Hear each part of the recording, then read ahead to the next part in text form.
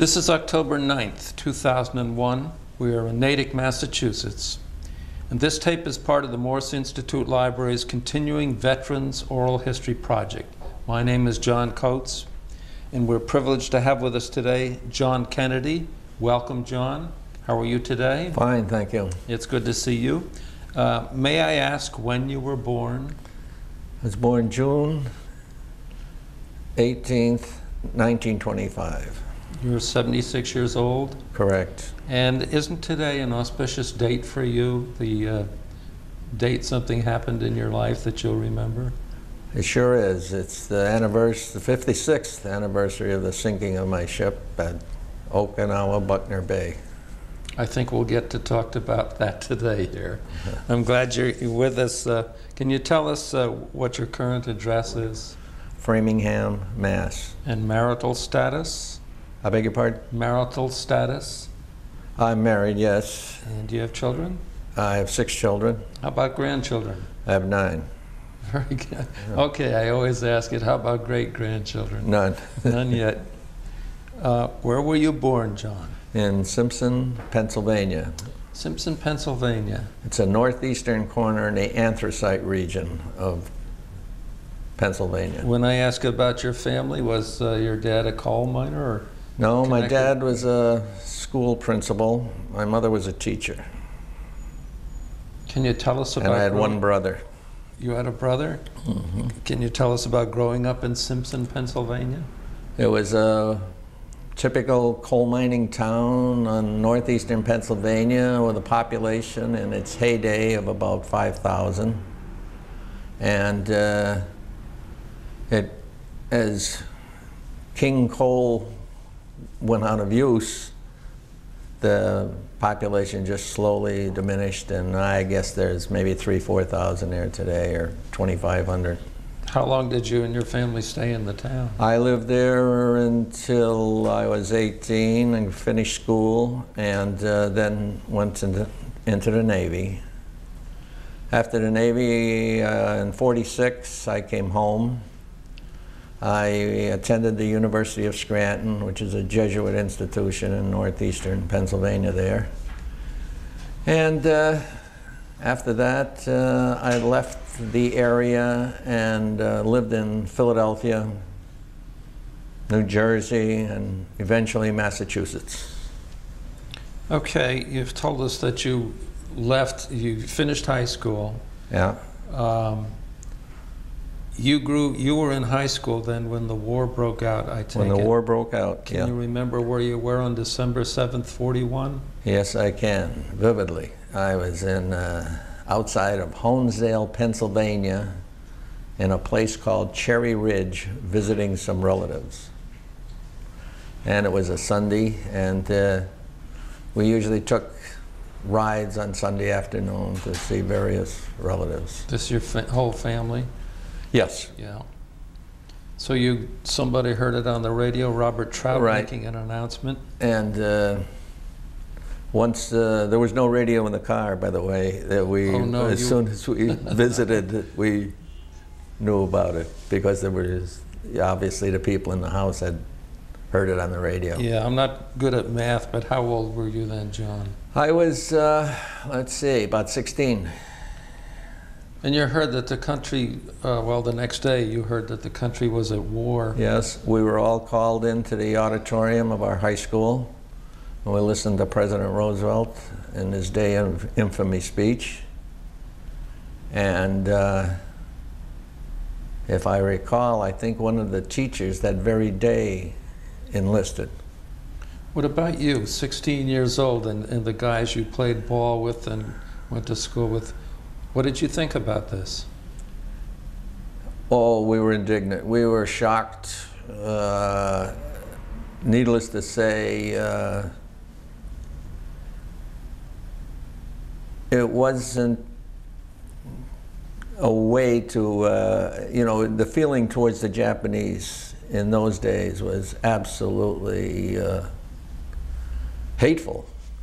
They There was, wasn't uh, anything that could be nice could be said about them or anything. The whole town, in fact, uh, one family in my town had seven sons in the service. And if you walked down the street with your parents or anything in those days, and uh, people thought you were healthy, they would just question you why you weren't in the service, why you, uh, what was wrong with you. Uh, and to be 4F was a stigma that nobody wanted, actually. Why don't, So why don't you explain being 4F, what that 4F means? means you were deferred because of some disability. A physical disability. a physical yeah. disability.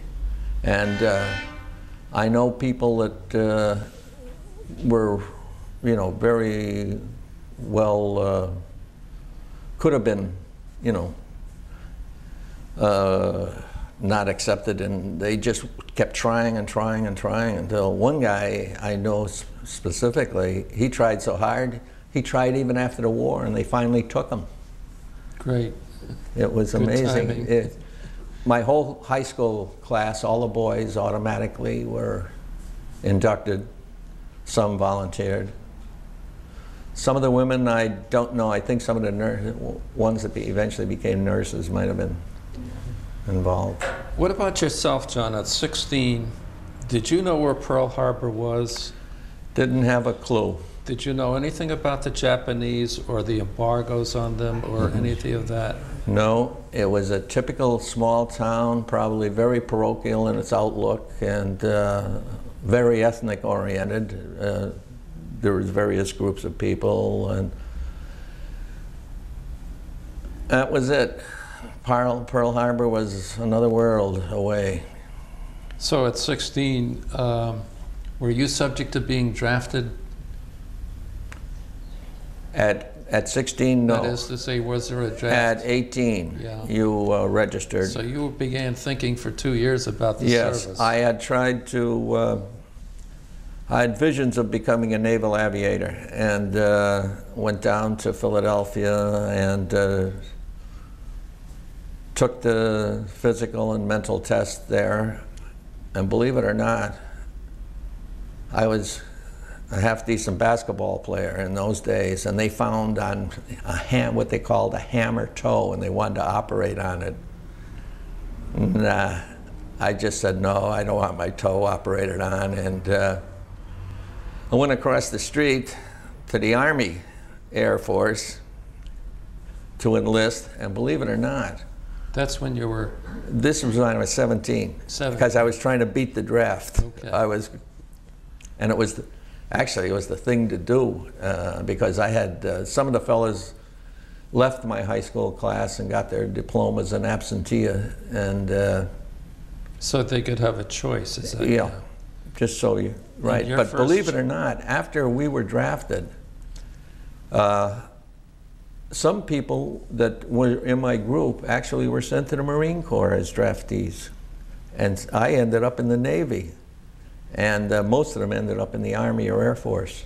Would you have gone, you said you went across the street to the Army. Yeah, Would you have joined the Army? absolutely. I wanted to fly. That was it. And uh, it was, I guess, maybe just the, you know, the thing to do when you're 17 years old. Or, and it was uh, a very glorious thing at the time, too, because uh, the aviators were like the golden haired boys of the fleet. I guess they still are. But you didn't become an aviator. No, unfortunately. The irony of it is, I passed the Army physical and flung the Army mental test by a couple points or a half a point, whatever it was, and it was an easier test than the Navy gave me. And when I was in boot camp, I got a call to go to, uh, my mother did, she sent me the card to go to Lackland Air Force Base for training in the Army because they had lowered the standard just that half a point or something. And I made it. And by, I was already in a You boot were, camp by you were then. committed by then. Yeah. Tell us about joining the Navy. Where did you do that? We were sent down to the nearest large city, which was Scranton, Pennsylvania. And uh, there you were, Scranton and Wilkes-Barre had centers where you were given physicals and induction centers. And uh, basically that's where we were inducted. That's Scranton, Pennsylvania. Mm-hmm. When you went into the Navy, um, did guys go with you that you knew, uh, part of your high school group or somebody from the town? Uh, several from the town. Uh, and uh, the adjacent town, which was Carbondale, Pennsylvania. And uh, we all went to boot camp together, yes. Had you ever been out of the region before? Only down to, uh, well, I've been, I had been to New York, uh, the New York World's Fair in 39 and 40, the family, and uh, The Trylon and Paris Trylon Fair. and Perisphere, Yeah. exactly. And uh, uh, other than that, I was pretty much confined to the area.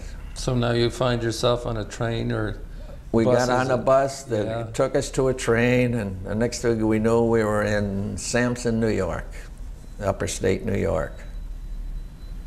And uh, I was probably the most disillusioned 18 year old kid in the world because I had an armful of shots. There were shots on either side, uh, and you were dragging their, uh, a mattress cover full of your uniforms and whatever, and bedding.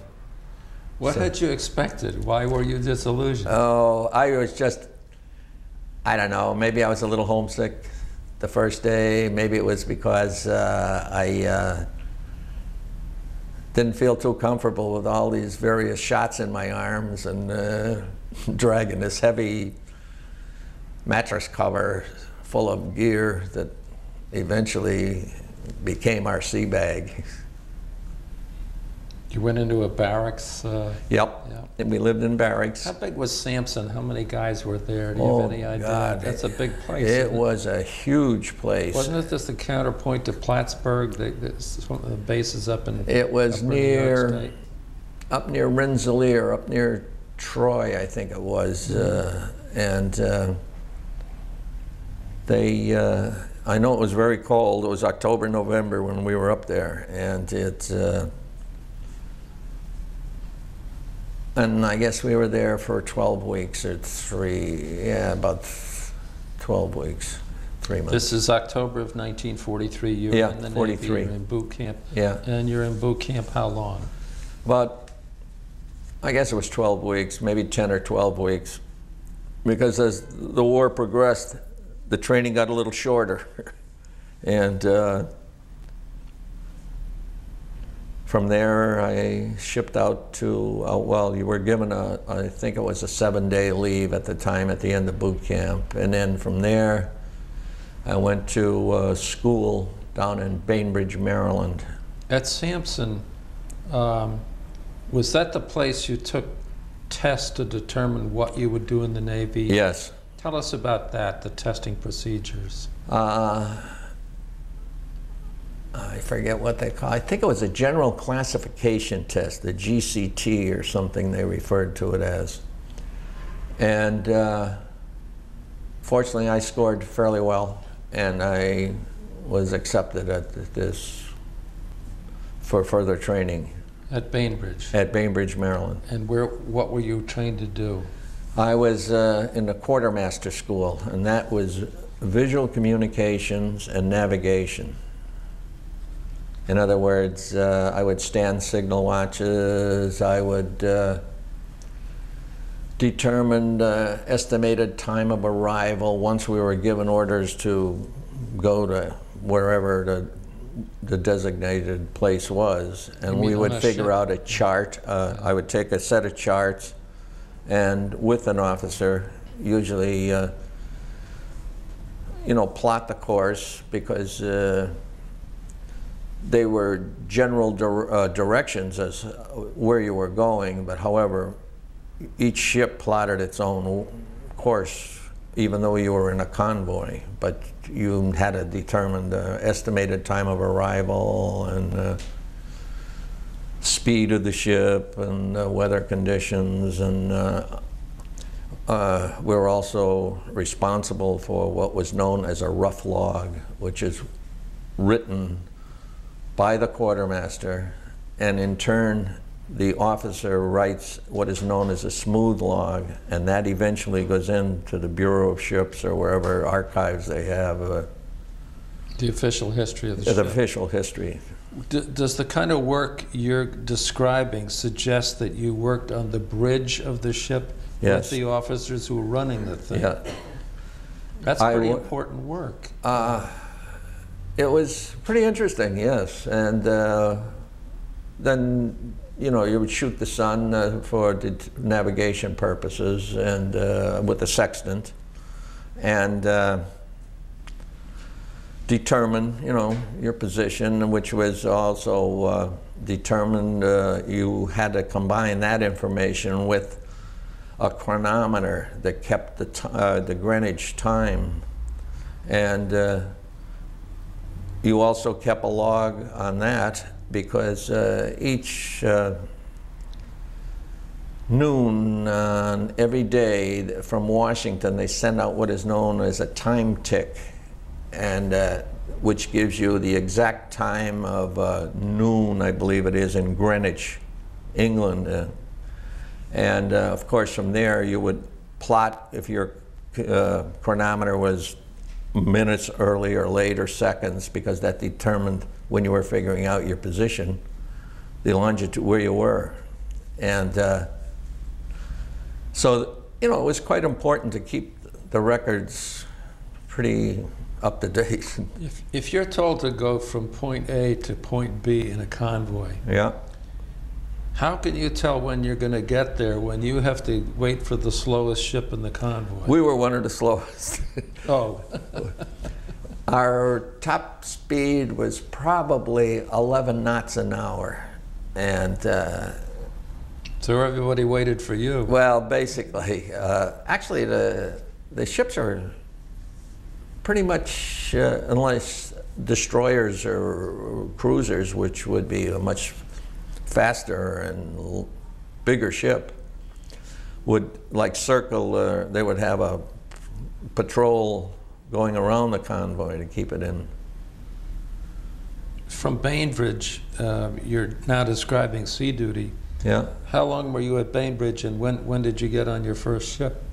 From Bainbridge, we went to uh, Little Creek, Virginia for amphibious training, it, which is now a SEAL base uh, on the East Coast. And uh, from there,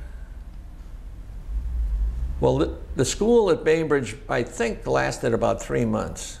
Then uh, we went to uh, Little Creek, Virginia, which was the amphibious training area.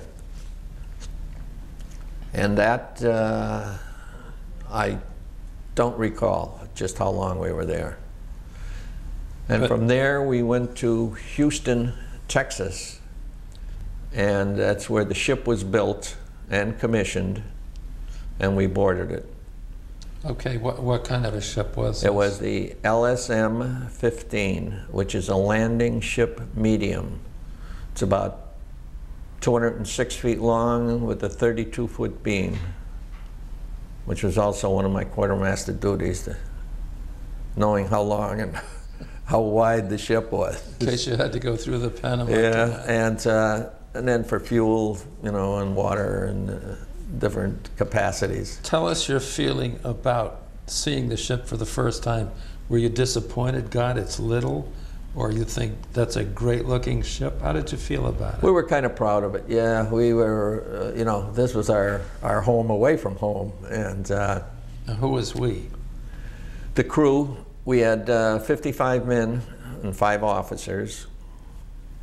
You had a captain, an exec, communications officer, an engineering officer, and a supply.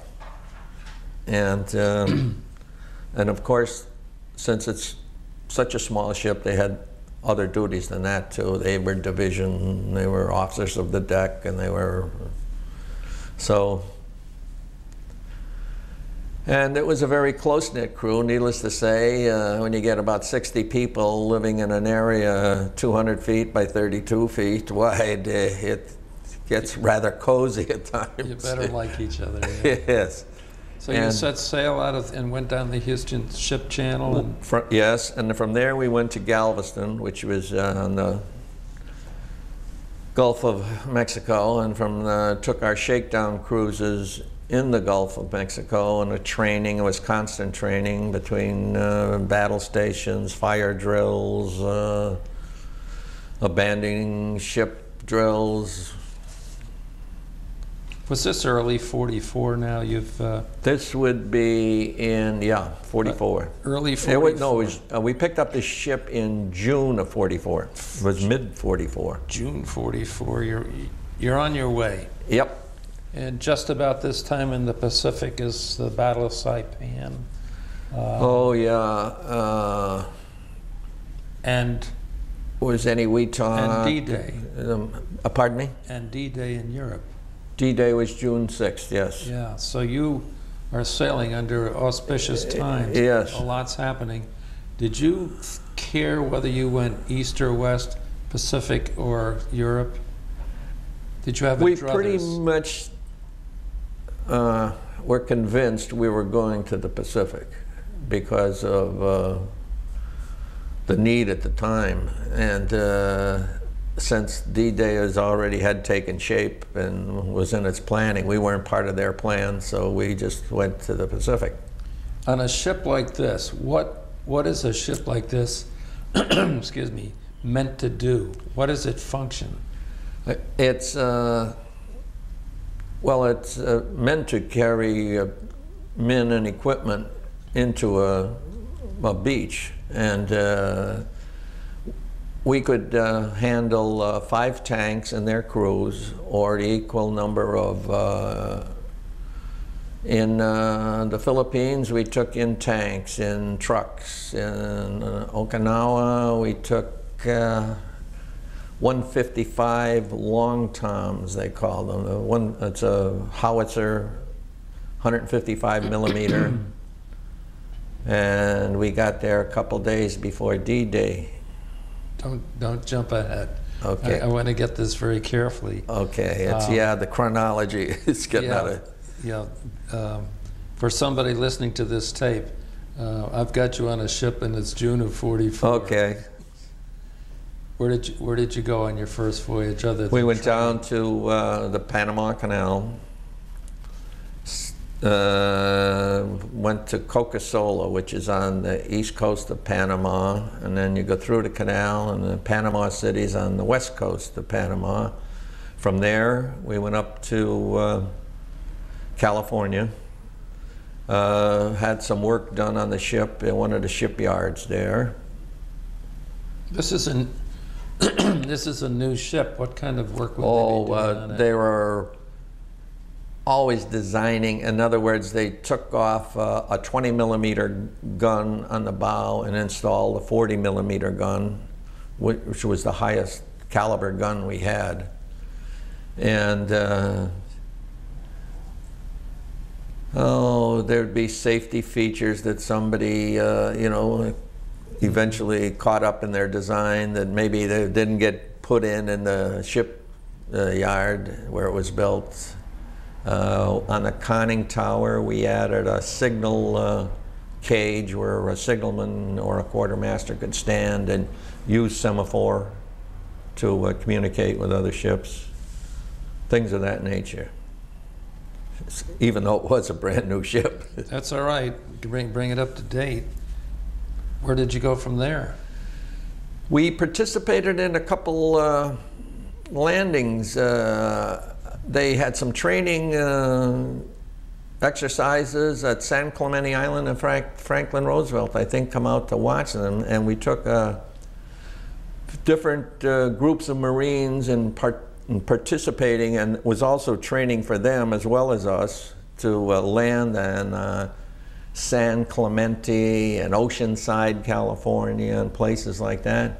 So were you stationed at, based rather at, at San Diego? Well, it we would be uh, originally we were in a, what was known as the, the destroyer base, which was San Diego, and then uh, we were up to Long Beach, California, uh, for, and um, it seemed in the Another, uh, we had to have some more repairs done at that place because, uh, I don't know, a propeller or something, a bow door got screwed up in one of the mock landings that, uh, for the training.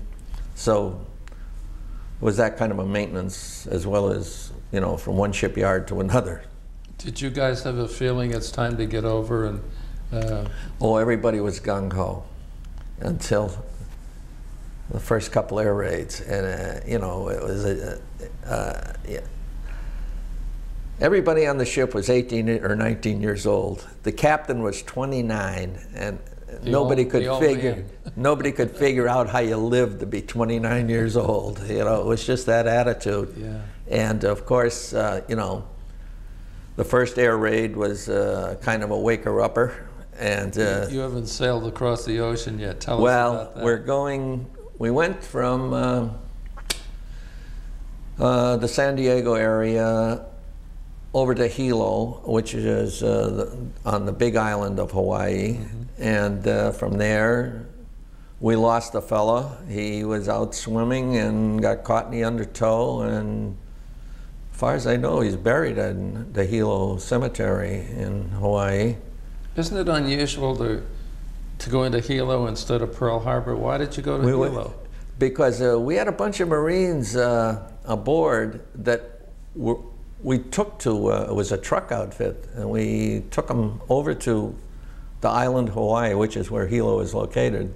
And from there, we went to Pearl Harbor. Okay. You know, well, we ended up in Pearl eventually. You're on your way. Uh, about when is this? What time of the year? Oh, gosh. Uh, this had to be in uh, September of 45 because in October Leyte was invaded in the Philippines. We were, oh gosh, it was, uh, yeah, August, September, somewhere in there of 45. You're sure it was 45? I, I ask you that only because in June of 44 you were d- on the West Coast. Yeah. So all that time you were on the West Coast. Well, not all that time because you were always out on training cruises, you were out uh, with different groups. That's probably a better history. And of course, this is just one fella's version of uh, The history of the, the ship, history of the ship.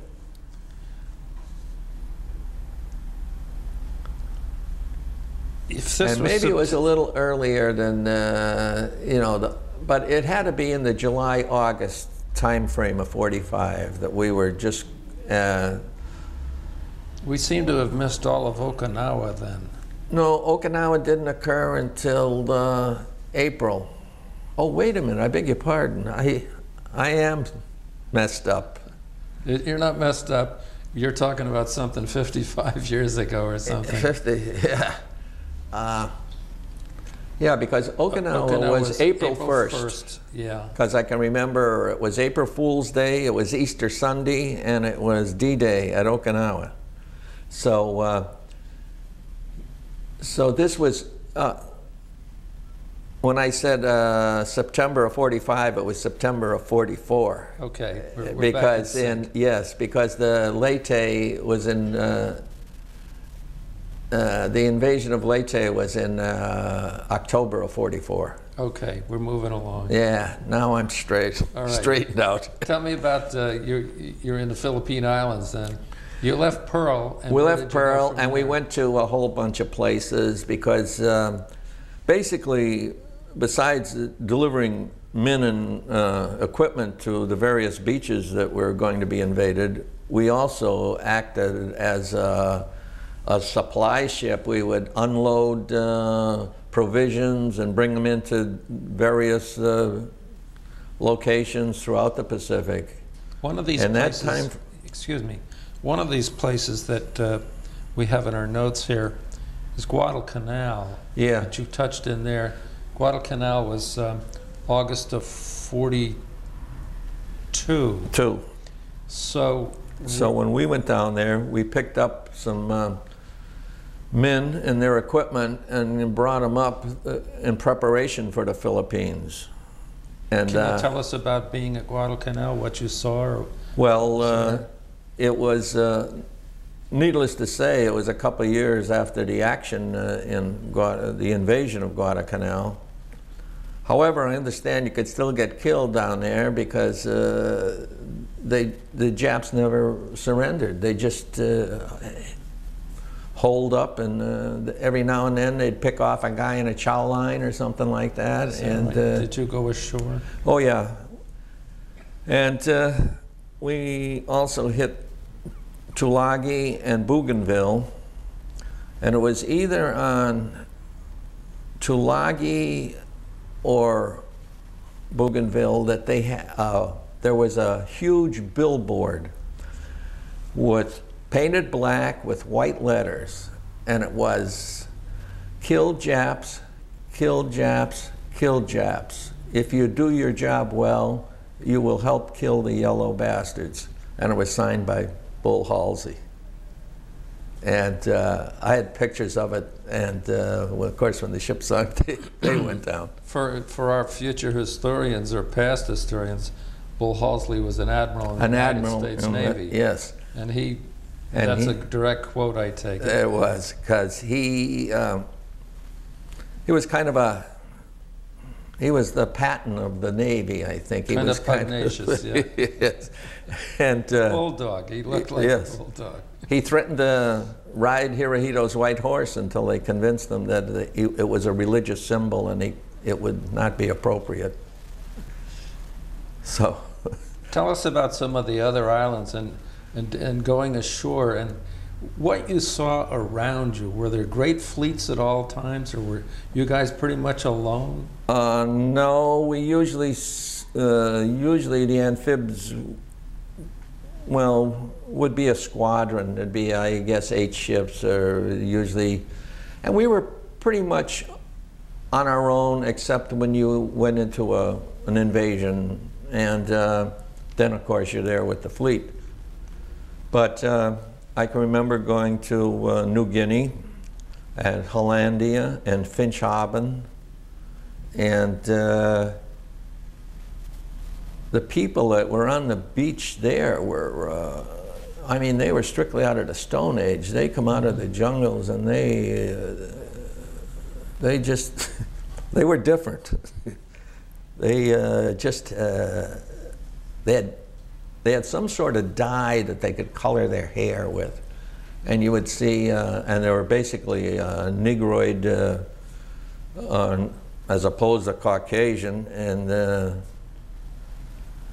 they would have yellow hair or orange hair, or uh, and they uh, chewed on some sort of, uh, I you know, I guess it was a dope or something, and made their teeth all uh, like rotted away, and uh, they had sores on them, and they, they were just a, a very, very uh, crude. I can't say crude, but I mean a, a very Pretty primitive people. primitive is the word I'm Yeah. looking for. Yes. John, you were about 20, 21 at this time. What did no? I was, uh, and uh, that would be no, I was 19. Yeah, because uh, in June of uh, 45, I would have been 20. So what, what, what were your feelings? Uh, look where you are. You're way down in the South Pacific, going to some islands that people don't go to yet. And, and you just described the, the Stone Age people of New Guinea. the Stone Age is what uh, they Yeah. really looked like.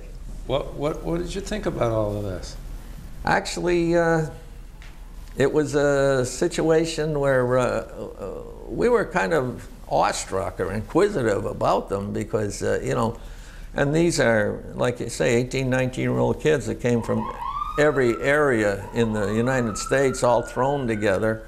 And uh, we just, you know, to us it was something that uh, almost beyond our imaginations.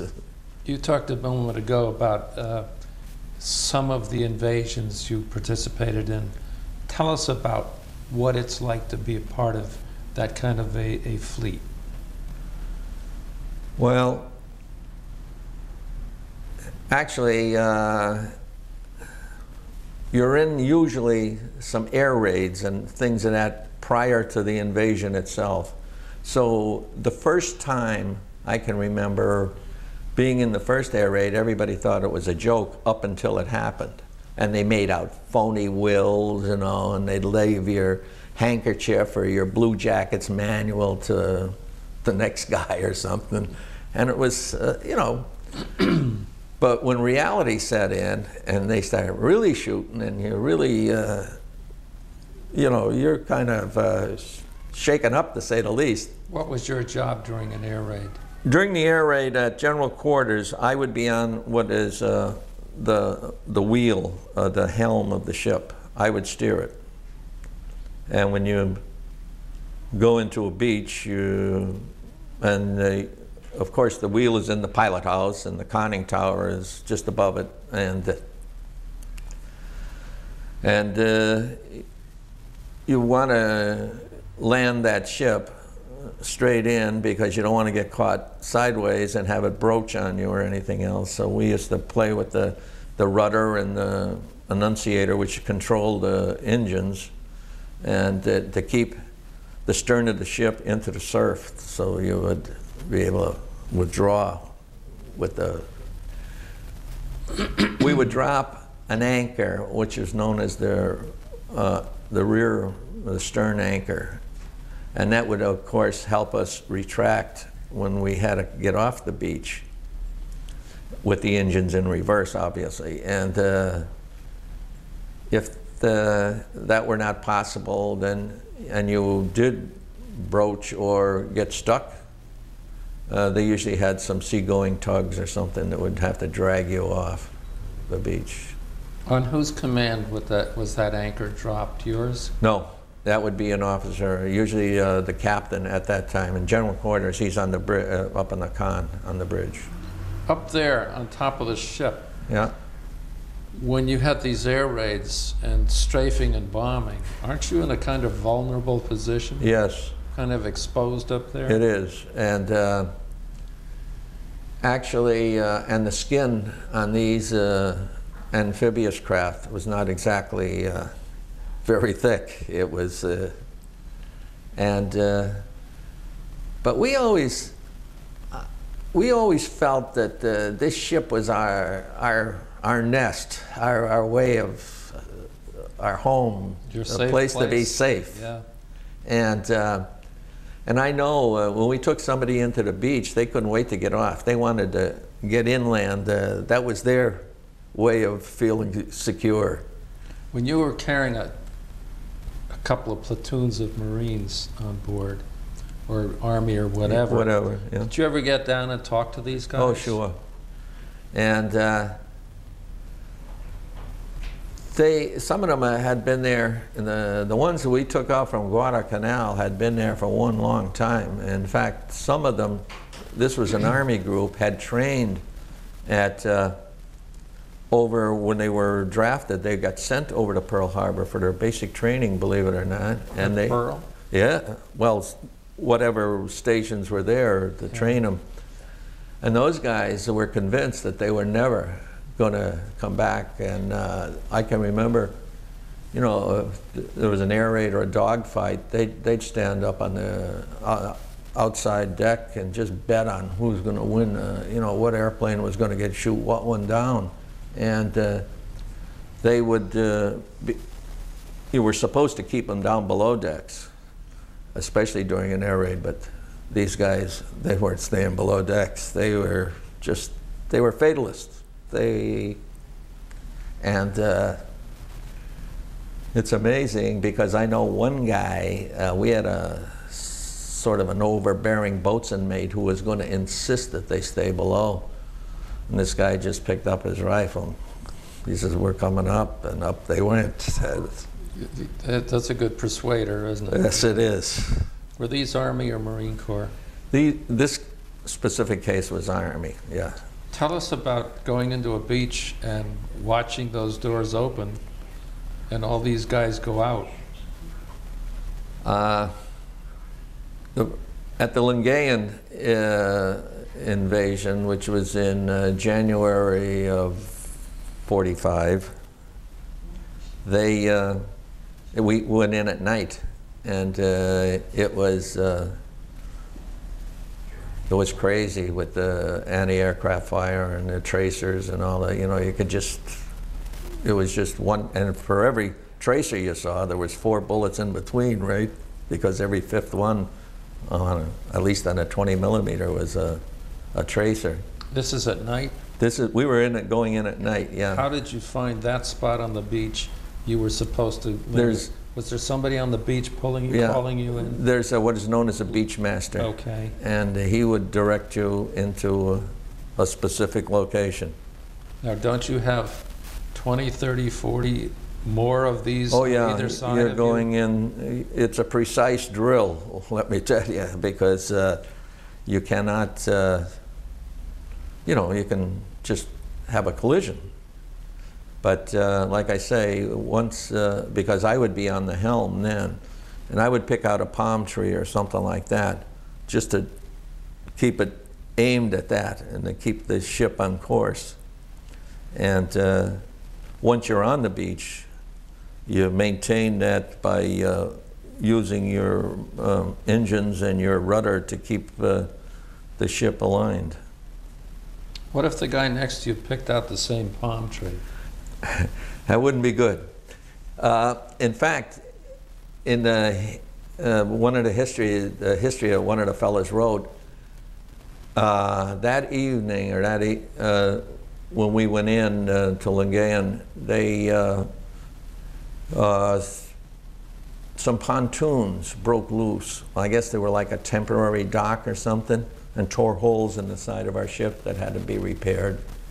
And obviously, it wasn't uh, to the extent where they would flood the ship, but there were some good-sized holes in there that were ta- uh, permanent, uh, yeah, temporarily patched, and then later on we had them permanently patched. Where would you get fixed up? Would you have to go all the way back to Eniwetok or? uh, No, they had uh, some. um well, it, in fact, I was picked up by. Uh, I'm getting ahead of myself again. After the ship sunk, I was picked up by what they call is a repair ship, and they had all kinds of facilities, and there was also. Uh, an LSD, which was a landing ship dry dock, which was seagoing, and they would work on your uh, repairs there. But if and if they were above the water line, you know, that, that they just bring some guys aboard with some welding and patch it up. Yeah. Where did you go from the Gulf? From Lingayen, we went to, we stayed at Lingayen for quite a while because we had on, uh, once your material and mineral ashore, you have to bring uh, the, all the supplies in. So we would make trips from, say, uh, a provision ship or a, a personnel carrier, if they, more men or more provisions to bring into the beach. So you would land, you'd be going in and out of God knows how many times. How far out was the supply sh- uh, fleet? These, these are larger transports, Oh, yeah, they're what they How were. far away were they? They're a couple miles out, I would say. Yeah. You guys would have to go out, Yeah. load up? Load up, in, bring them in, yeah, Ferry the supplies? and unload them. And um, then, uh, and then the larger ships, we used to bring, uh, the larger ships had these, um, oh, powder bags, I guess is what they call them. And they were contained in like uh, an oil drum or something, uh, a round, uh, and uh, once they used the powder bags in the larger guns, these containers had to, we'd take them and dump them on the shore or get rid of them. And uh, just, it would be a bunch of uh, just gut chores back and forth of that nature. Were you under attack? And sometime, yeah, because there was always uh, continuous air raids. Uh, but uh, And you're, and you're carrying only a 40 minute, uh, 40 millimeter uh, With- gun? right, That's with- all you had? Uh, no, there were 20 millimeters. There was about six 12 20 millimeters, three on each port side, uh, three on the port side, three on the starboard side, and up on the bow would be the 40 millimeter. And uh, yeah, that was our armament. And uh, it was, uh, you know, we always felt that uh, they'd pick on bigger ships. We were the little ducks in the pond. They didn't bother us until we got to Okinawa, where they were. Every, everybody. Everybody was in trouble there, yeah, because it was their last stand. But, uh, and then, uh, in fact, at Lingayen Gulf, I think it was the uh, California that uh, some kamikazes uh, just come in out of the sun and That's hit a battleship That's a battleship, Yeah. the California, and uh, it landed right in the bridge, and they unloaded dead sailors and Marines off that for days on end because it was. It didn't sink the California; it just damaged the superstructure, and then, of course they would always aim for the bridge because that's where usually the combat information center and the nerve of the ship was. The captains, the officers, and their Did, did, did you see this happen? yes. Can you tell us, watching a plane come in and striking Uh, a ship? Well, usually they come in right out of the sun, so you didn't. You could hear them. You couldn't. You know, you'd look up and you're looking straight into the sun and the glare, but you could eventually they, see them.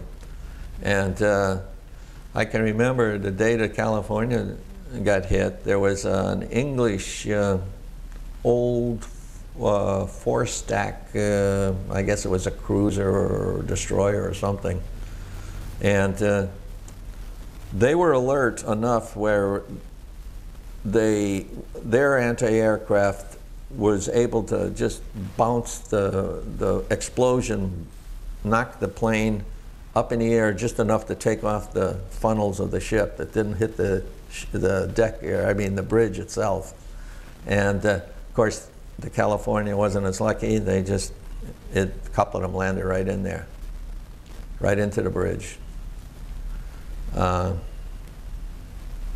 What are you guys doing uh, at that time? Are you firing at these planes? We would be, yeah, we, we would be at general quarters, which was, uh, everybody was alert and at their battle stations. And uh, if you were within range, you know, you would shoot at them and you would have, uh, it wasn't just an individual thing, you would wait for a command from the bridge to shoot. And once again, 20 millimeters didn't go that far, neither did 40 millimeters, so they'd have to be awfully close for us to get into the act. Say that again. Um, You got three gunners on each side. Yeah. The guys on the bow and the 40 minute, the The 40 40 millimeter. millimeter tubs. Um, They have to wait to be told to fire? Pretty much so, yeah. It's a controlled thing because on each gun, there's usually the gunner, a loader, and a talker. And the talker is in communications with the uh, bridge at all times. And they would, uh, but I'm sure some guns got fired if things got close enough uh, without waiting for the word. That, that's about my, my impression of uh, fire Yeah. aboard a ship, Yeah. that when something comes your way, you shoot at it. Yeah. But then that, that suggests that there was a, an observer on your ship watching the, the aircraft Oh, yeah, you. because Yeah.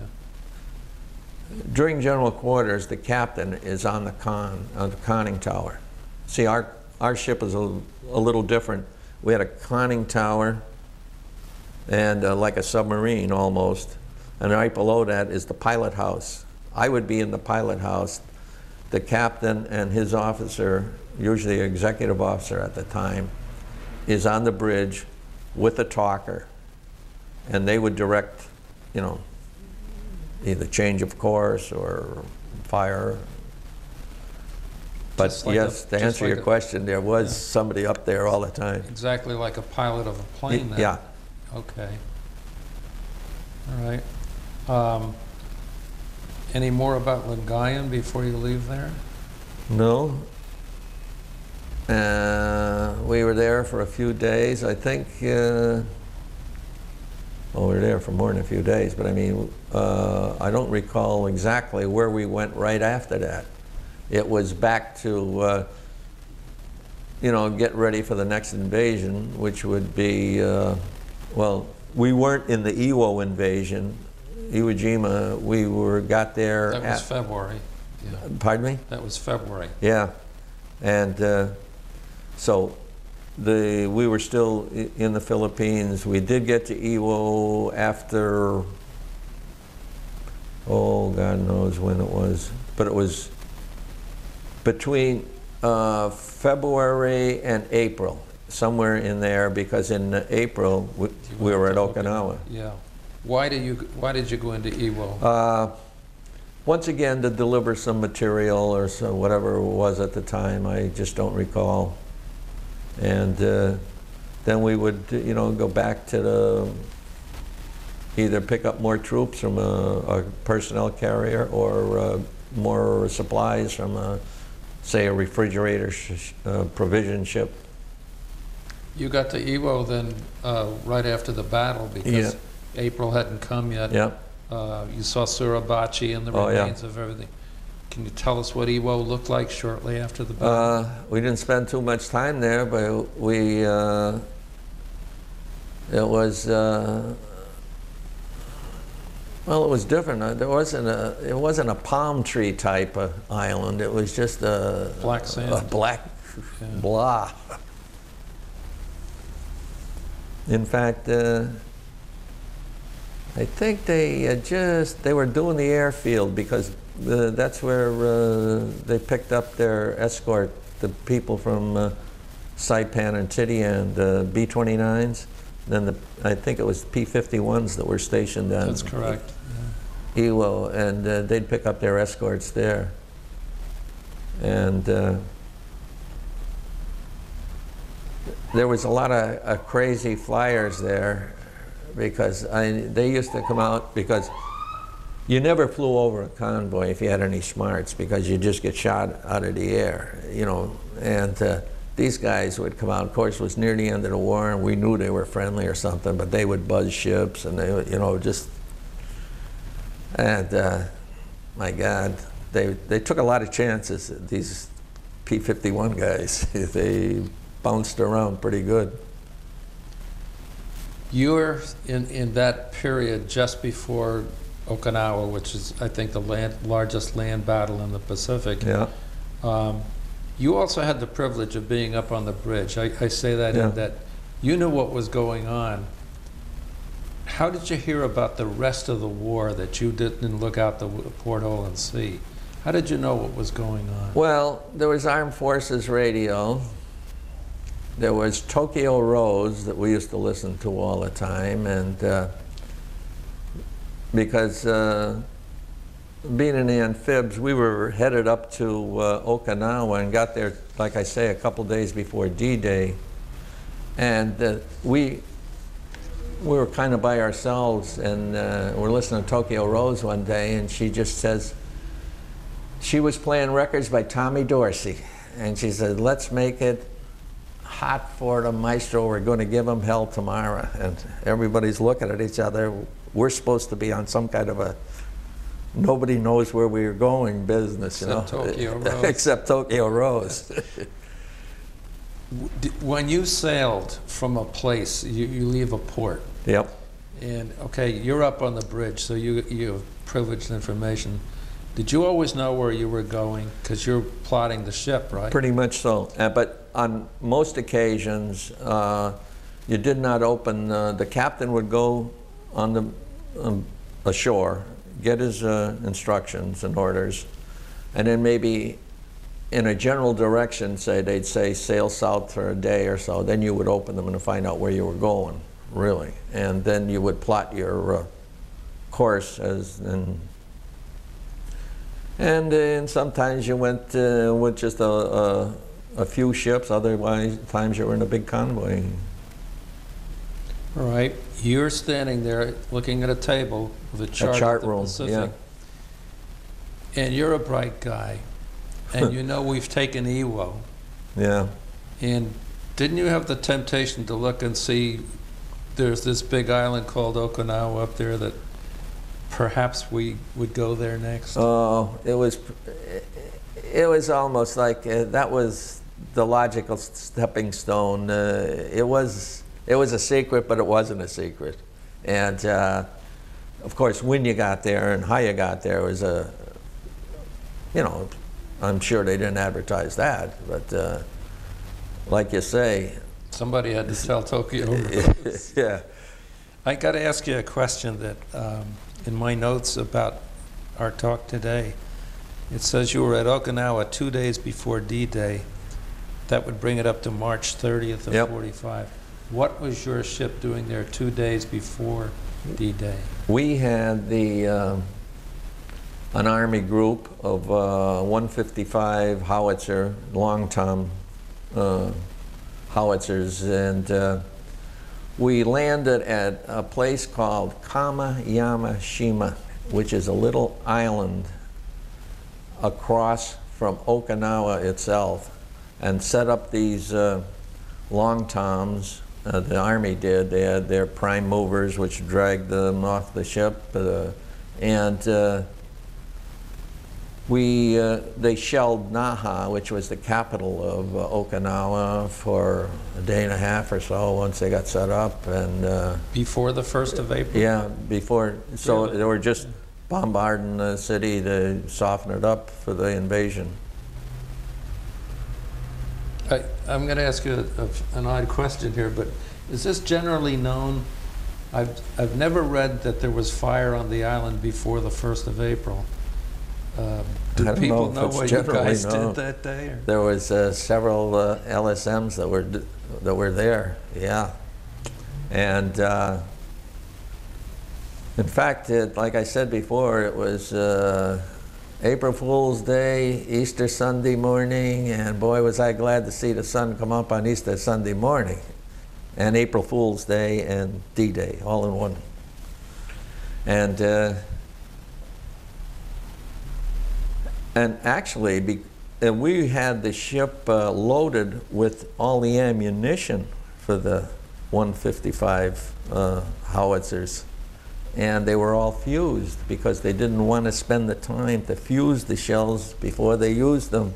So we were a, a sitting ammunition ship at the moment. You were a floating bomb. Yeah, and uh, we were, you know, and they wouldn't let us off the beach, and we were being, uh, you know, shelled. But the theory being that you could run into one as, as well as you could avoid one.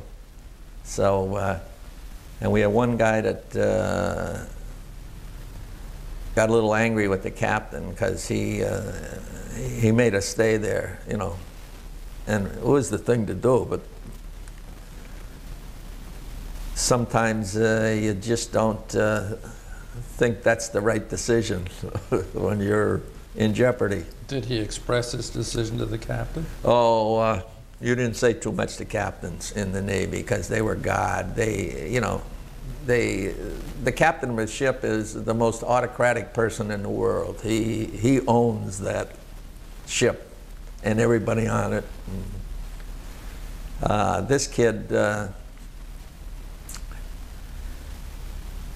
he was a fellow, a cowboy from Wyoming, and uh, he was a rough and ready character, but uh, he was uh, going to vent his feelings on the captain, except we convinced him otherwise, because he would have been, He'd be at Portsmouth. yeah, he would be dead meat. At Okinawa, the Navy lost a lot of ships from kamikazes. yes, Can you tell us about seeing any of that? Yes. Uh, one day I saw a destroyer. What what was known. Uh, the way it was set up is the periphery was known as the picket line, and they would have destroyers out there, and they would intercept the incoming uh, bogies, the Japanese planes. And uh, I saw one uh, was almost like a football play. One kamikaze went into the, and the next kamikaze followed it, and the whole front of a destroyer just rolled up. It didn't sink, but it it went all the way back to the uh, the deck, just folded up, and it was almost back to the bridge which was about midship.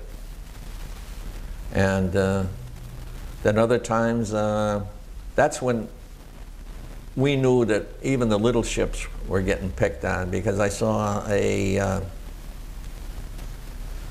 oh, I guess it was loaded with fog oil and ammunition on LST, and that just burned for God knows days and blew up, uh, you know, section at a time, and uh,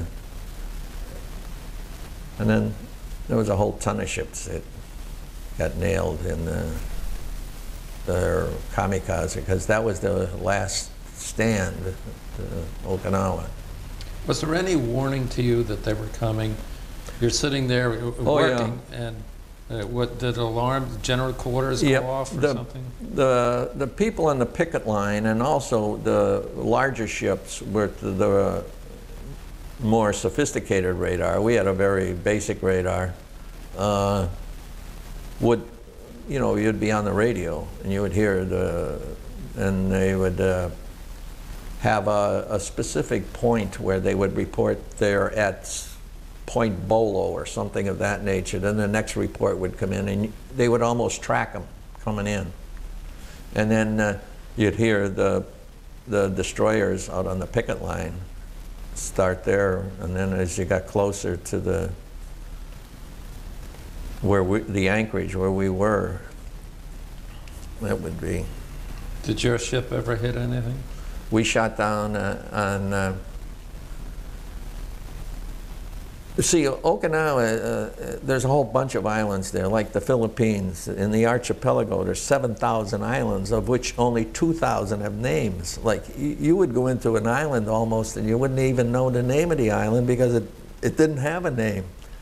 Well, besides Kamiyamashima that I just told you about, there was another little island called Ie Shima where Ernie Pyle was killed, Yeah, I wanted to ask you about that. That was April 16th. so April 16th. Two weeks into the battle. Yep, Uh, we were there. You were there? And uh, in fact, we were uh, we were on a con one day when the, and the Marines used to have a couple guys that would sail with us. They were either pharmacist mates or signalmen. They used to call them beach jumpers. They would go in, and they would actually have uh, a Marine outfit on, but a Navy crow, uh, the pharmacist, the, or a uh, signalman. And I remember this guy on Ie Shima because what they did was the, the Japanese let them land, and then once they got somewhat inland, then they come out of their caves and everything else behind them, right? And I can remember this Marine fellow up there with just his hand out of it like a dugout uh, on a light sending us the, the blinking message, just sniper in area, right? And then just then, right up on the con, and it, we took a, you know, just put a hole in one of our flags, our signal flags, uh, right over our heads. So needless to say, everybody scrambled to get out of there. But uh, and then once it quieted down, we went, all went on the beach at Ie Shima. And uh, when I say all, you, you know, if you weren't on duty, just because the bow doors are open and the ramp is down, so you can just walk out onto the beach. And uh, we'd go over there, and they uh, they erected a uh, a little cross like or a sign that said, uh, I think it was was some army division. We lost a friend, and it was unmarked where Ernie Pyle was killed by a sniper. There, Did you know who Ernie Pyle was? I knew of him. Yeah. I didn't, you know, I knew uh, because uh, you would get some uh, news either on the radio or, and then they would have a byline or something. And uh, we also, uh, when you asked me once before about uh, what did I know about what was going on in Europe, I had some friends that were in the Air Force and uh, they would write to us with the V-mails, the little photographic things they used during the war to send back and forth. And uh, that basically is, uh, you know, why you would hear the news. After Okinawa, um, I suppose you suspected you were going to Japan. We did go. get ready for it. Yeah. Um, Tell us about leaving Okinawa. I'm leading you up to a, a- there's a, a storm in your future, and I want to be sure we cover that today. Well, we uh, loaded up some ambulances on Okinawa and took them into uh, Yokosuka, which uh, was their Annapolis, where they trained their uh, naval officers. So the war's over then? The war? No, it, No? it was just about over. Yeah. It, uh, let me see. How did that time frame work? I oh, we went from uh, Tokyo Bay to Yokosuka, and uh, that was it. And of course, they were still frightened of us the, when we went on, because once again, when, you- when you're unloading, you can just get out on the ramp or the, onto the beach, and. Uh, they, uh, it was a I remember going through a series of caves that uh, they actually had a hospital down underground. They had, um, this is at Yokosuka. And, uh, and uh, oh, they had machine shop. They had anything you could dream of that was underground. And uh, some uh, some fellas from some of the ships decided that because there, like I say, was their Annapolis, and where they trained their officers, and they had some uh, the ships that were you know in their history was famous, and they had all kinds of uh, swords and with. Uh, jewels and everything else in them. Some of the guys got nailed for stealing them. And they, Right? uh, they that that was frowned upon, and uh, but uh, none from our ship, I might say.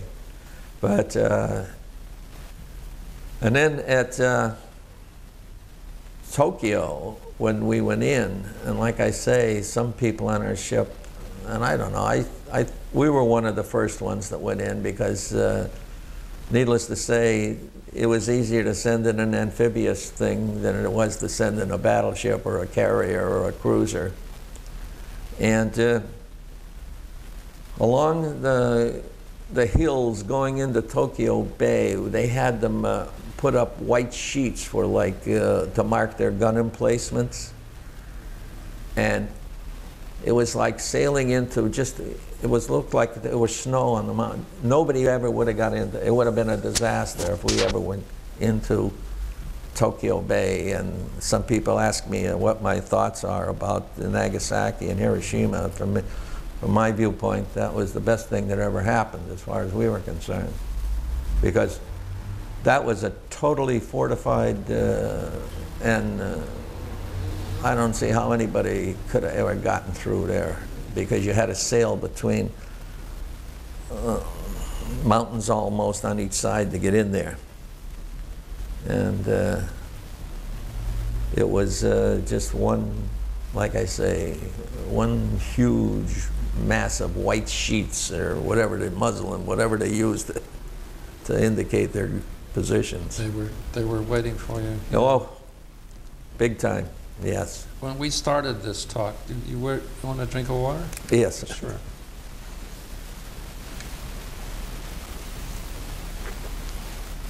When Just a we- mo, go ahead. When we started this talk, we, we remarked that it, it's the, the anniversary of the date of the sinking of your ship.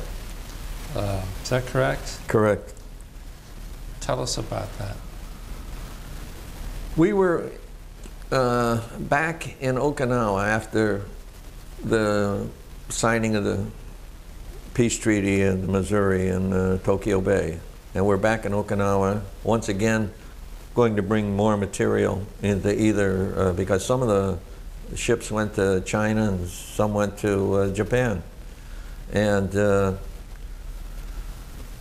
we knew of the storm, and uh, I guess the weather people thought it was, uh, you know, was going to bypass. We were, or the capital ships go out to sea during a storm because they don't want to be caught in port. In, uh, and uh, the smaller ships usually stayed in the, the anchorage and uh, the sheltered area. We started out, we're ordered back in because I, at the time, I guess they thought w- was going to uh, just uh, go around us, the Typhoon Louise. Where specifically were you?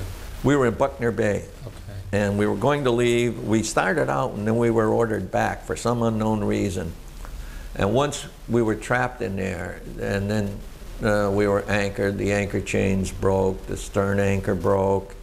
Uh, we were like a cork, just being blown all over. And uh, the wind, they say, blew a hundred and I think it was 60 knots an hour when the weather station blew away and they never knew how much, how, at least I never knew, how fast the wind blew after that. And of course, the seas were ridiculous. And being in the, up in the con, in the pilot house, I, I could see we're going like a, a runaway freight train, but we had no control of where we were going. We were just being blown there, you know, and the, tide, uh, the waves taking us there. And uh, it was, uh, oh, I don't know, we just did that for God knows a few hours, and uh, you were at the mercy of the wind. And uh, Is this daytime? yeah, this is daytime, and we just, then we got blown onto a reef, and it tore out the bottom of the ship. And then the wind changed direction and blew us out to sea. Oh, and that happened. It went down. And uh, I can remember one, there was a fella that uh, he went to jump for a life raft. He just got blown away. Nobody ever saw him again. He just went, Another fellow was uh, an electrician's mate. He was, uh, well, there was a 55 gallon drum full of gasoline that was like floating in the, like a leaf. It was just being blown. That, that killed him. And another guy, uh, he got into a small boat because uh, he couldn't make the life raft. And, you know, it was what they call a wherry. It's, uh, I don't know, about a 12, 15 foot little rowboat. And that was, he was gone. So there was about four that didn't make the original. Uh, I I jumped off, uh, and I didn't have to jump too far because theoretically, in the Navy, a quartermaster is supposed to escort the captain off the ship Oh, when really? it's sinking. Right. I wasn't waiting for the captain. Right after you, sir. And uh, believe it or not, when I jumped, uh, I landed in two. I, I landed in two rafts, one leg in each one. They were tied together like, and then I'm, the guy that jumped after me, he misses, he goes down, and the two rafts are banging each other, and his head is getting squashed in between the two rafts. So we got him out. But uh, then a raft is usually held onto the ship by what is known as a sea painter. It's, uh, it's actually just a line, a rope, with a pelican hook on the end of it. That you know, if you hit the, you know, the hook flies open and the raft goes up. Well, there was such pressure in the water and the wind that you couldn't get any slack. So the captain, he just took a fire axe and cut the, and then we took off on a sleigh ride because that was still blowing and the waves were still going. And we had Kapok life jackets. They were big, bulky.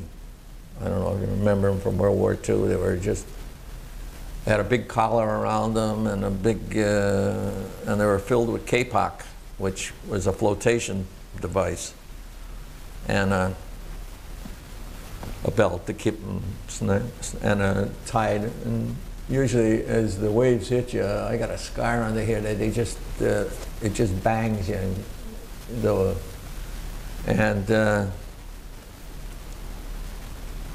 I uh, I thought I solved the problem of the jacket coming up and banging me in the chin, and I just hooked it onto the belt from the that went around the life jacket onto my belt on the pants. All I did was get myself the greatest wedgie that ever happened in the whole world. It sounds like Seinfeld. So we corrected that immediately. And, uh, and uh, that, that night, uh, we uh, just fl- floated around. And uh, I still have, um, uh, in each life raft, there is a little pack which contains a mirror which you're supposed to shine. Uh, I, got, I still have that mirror with the lanyard that went around my neck. It's a little hole in the middle. Yeah, hole in the middle, and you just, uh, and uh, we saw a few planes fly over. They didn't see us. Of course, that's like looking for a needle in a haystack. And uh, eventually, the USS Vestal, which was a destroyer repair ship, uh, brought us aboard. I uh, I climbed up a cargo net, but as I was climbing up, as I was getting out of the raft, because the water was still, you know, in a turmoil, one of my best buddies and I, uh, somehow or other, he panicked and he grabbed me around the back, and now the both of us are back in the water. And uh, finally, I got rid of him, and I went up, and he, he survived. In fact, this just last week, I was out in Minneapolis. Five of us showed up for the reunion, and there's about there's I guess ten of us left, and you know their wives are sick or they're sick or something. It's the superannuated set at the moment. How many, uh, how many survivors after that day? That is to say, how many of you were lost when the ship went down? Uh, four. The guys who tried to, Yeah, got blown away? yeah. The guy that got blown away, the guy in the little boat, the electrician's mate, and I'm trying to think of another guy, whoever it was. But You were pretty lucky. Yes. And uh, Where did, the where did the ship that picked you up take you? Back to Okinawa or what? You know, the five of us try, tried to recall out, we were just this past week in Minneapolis, how we got from that ship back onto Okinawa, because uh, after Typhoon Louise, there was nothing in Okinawa. All we had was, uh, I had an Army baseball hat on, uh, dungarees, and, uh, and that's all we owned, a shirt and a tie. And, you know, everything from latrines to hospitals, everything was blown away. There was nothing there. And we lived in tents on the beach. But the question was, how did we get from the ship to the beach? And we, none of us could remember. And it obviously wasn't, the Vestal didn't just pull up to a dock because there were no docks. And uh, whether they transferred us to another ship or what, none of us could recall that. And the first thing they did when they rescued us was give us a couple double shots of whiskey. I don't know why. So it was all worthwhile? it was all worthwhile. but they cut your clothes off, obviously, and, uh, and uh, whether that was the thing to do or not, I don't know. But it, they did it, and uh, and like I say, we lived on the beach until we come home on a troop transport. That's quite an adventure. Um, Did you go home and get discharged? uh, No, they sent us uh, back to Treasure Island, which is outside of San Francisco, and uh, we got our clothing uh, reissued to us and everything else. Uh, and they sent us home on 30-day survivor leaves, and uh, and you know. After the 30 days, I, I was convinced I would never go to sea again. I didn't care what they did to me, and. Uh, but I, they sent me to a, what they call a repo depot, a replacement depot in uh, Philadelphia. And all you had to do was uh, show up and see if your name was on a draft list because they were, because they couldn't get rid of 12 million guys all at once. And, uh, and they, I don't know if you recall, but they had a point system. You got so many points for how many years you were in. You got so many points for each medal, and et cetera, et cetera. And I'm counting my points. I'm, I want out, you know.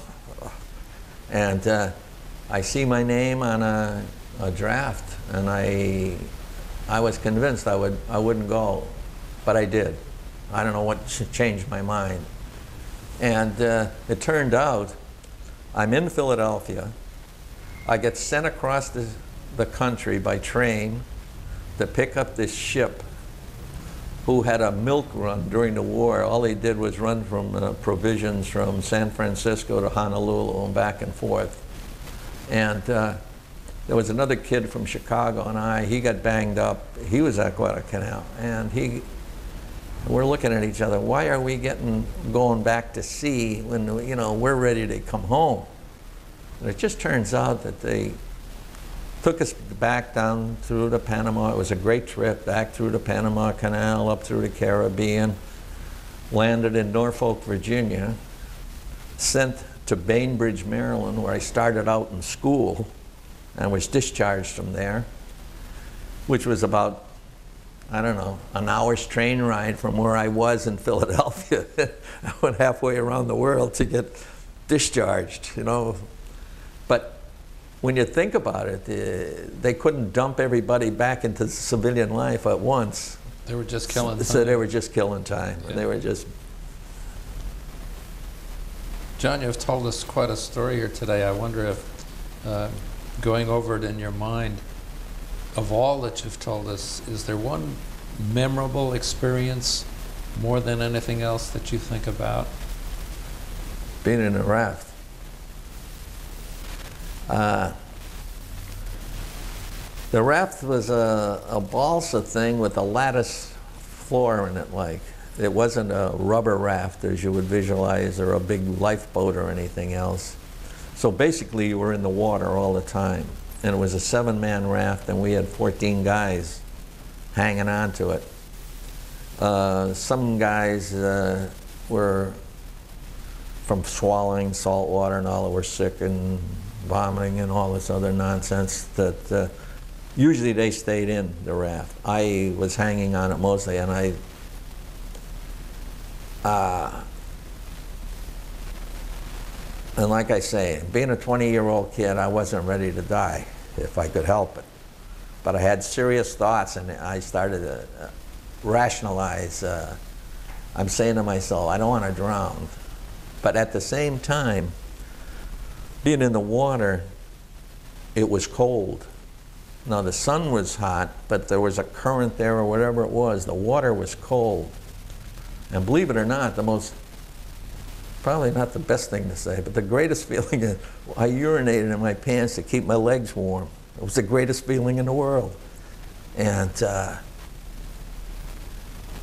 I was thinking, if I don't want to drown, maybe freezing isn't the best. You know, you start, and then I can also, thought cross my mind, if I had a gun, I'd shoot myself. Because that would be the quickest way, right? And uh, of course, I guess it's, uh, in a situation like that, you can rationalize anything. and uh, obviously, I, we just hung on and we got picked up.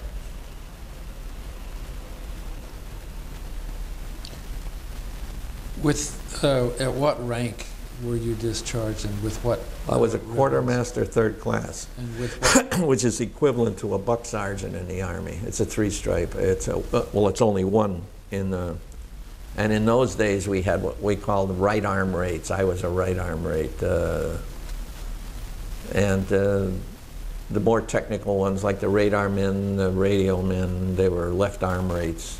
And I guess the old Navy was the considered the right arm rate was the guys that ran the ship or something, uh, some tradition of that sort. what decorations did you have, John?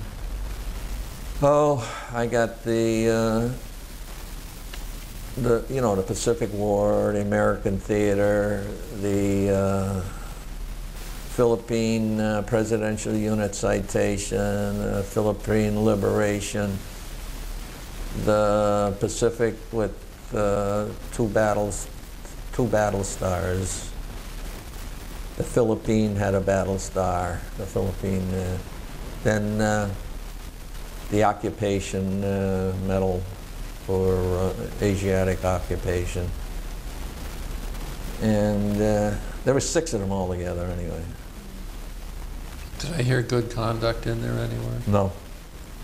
You had to be in the, to get a good conduct medal, and then you had to be in, uh, I think it was either three or four years. It was a full hitch. And uh, I had a couple, couple captain's masts anyway, which uh, is a minor infraction of some of the rules. We used to. Uh, It's not quite a court martial, but don't it- do no, it again. Yeah, Yeah. it's a slap on the wrist. One, Yeah. a guy, uh, a boatswain mate and I had a personality conflict, and I had been on the wheel all night long, keeping the the ship on the beach, and he wanted, and I just went to bed. And he come around and he told me to wake up, and I said, no, I'm not waking up. And then we got in a little argument over it, and uh, so he put me on report, refusing orders, blah, blah, blah, and all that That's not bad. Nah. And the, the officer that was with me, uh, the, the officer at the deck, he says, hey, the guy just went to bed. Get off the nonsense. And it went away. But it's recorded. So, other than that, had a pretty good record, but no good conduct. Very good record, in fact. When weighed against eternity, that's pretty small business. Yeah. John, we've been talking 90 minutes. Is there anything I haven't asked you that you'd like to tell your family or historians or somebody about uh, your time in the service? Well, I'll tell you, since growing up in a small town and being in an atmosphere that everybody was really into the war effort, uh, I think that uh,